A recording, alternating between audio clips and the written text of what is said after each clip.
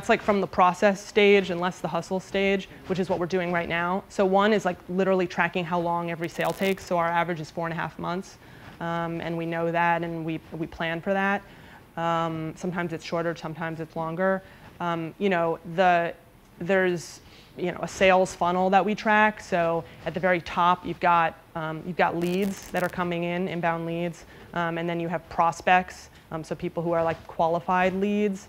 And then um, every company has their own sales funnel based on what they're selling.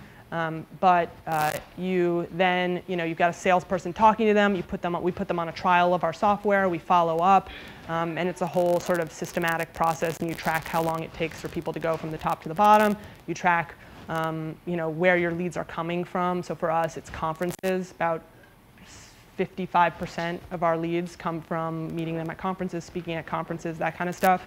Um, we have a small percent that just comes to our website. So it's really about understanding that process and funnel and then um, and like optimizing it so that you can make the most sales.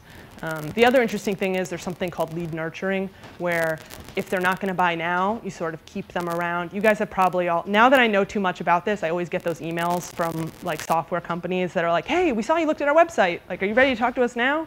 And then they, they follow up very regularly. And so we do something similar, although not as annoying where we try and say, hey, here's a new study we published on video. You know, just want to make sure you were aware of it. You know, let us know if you want to talk. And so we just sort of keep in touch with people, keep educating them, um, keep learning from them. A lot of times we'll say, hey, they'll come back to us and say, hey, we're not ready to buy now, but do you offer this? And we say, yes, here, take a free sample. Um, and so it's just about that. But yeah, B2B is a very different animal than B2C. Um, and someone was telling me recently there's a difference between like fishing with a spear and fishing with a net. And B2B is very like, it, it can be very like fishing with a spear. Like we're, you know, we're going to try and work with all the major studios. We're going to try and work with all the major TV networks. Like we know who we're trying to target and then we have to go after the right people. So those four months within four months can be a lot of time.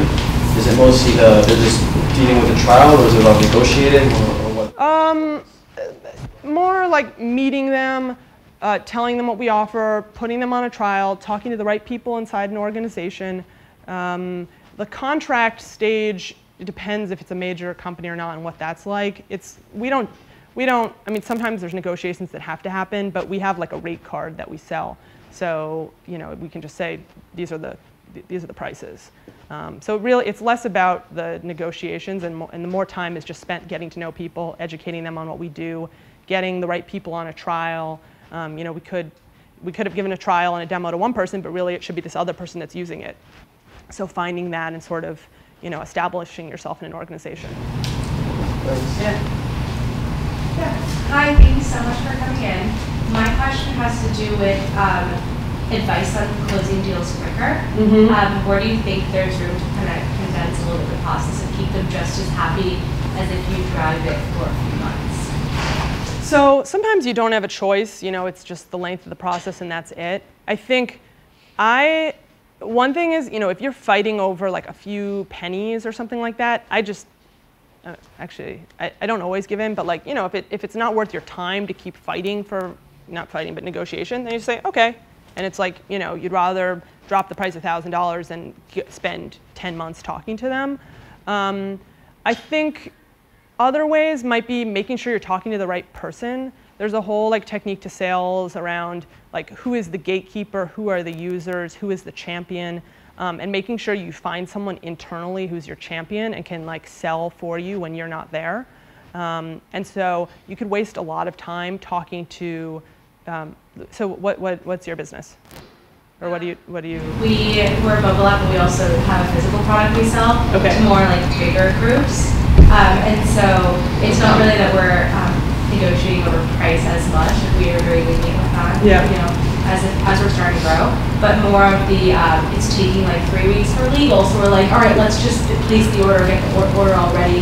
So as soon as legal signs it, you know, we'll like put in production immediately or let's start, you know, production a little bit so we can get this done. Right. That's interesting. So, um, so that's risky with starting it before papers are signed if it's of huge cost to you. Oh, well, that's interesting. That sounds like a good strategy.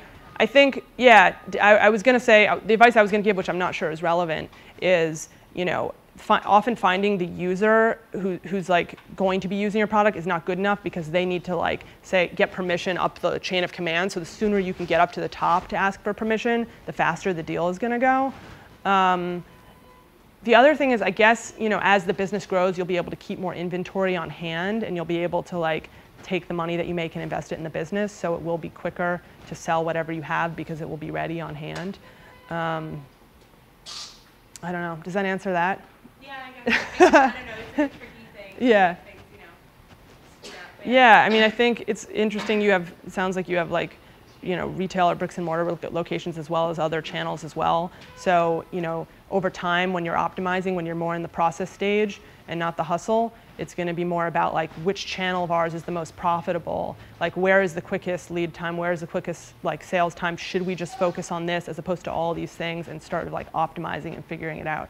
Maybe, can I do a short add-on? Yeah, That'll help yeah. answer the question better. Like maybe what materials do you prepare, or have you found that there's some materials that like prevent you from like doing those demos, or you know, you don't have to go and put as much like personal time, that you can just like, Yeah. So, well, one thing is um, we instituted like when people sign up for a trial, we ask a lot of questions like how many people in your organization, like what's your job title, like what um, you know, not too many questions because we still want them to fill it out, but you ask the questions that you know uh, are like signs to you about whether they're going to quickly move or not, right? Like if it's and or like even a question that's like, are you ready to buy right now?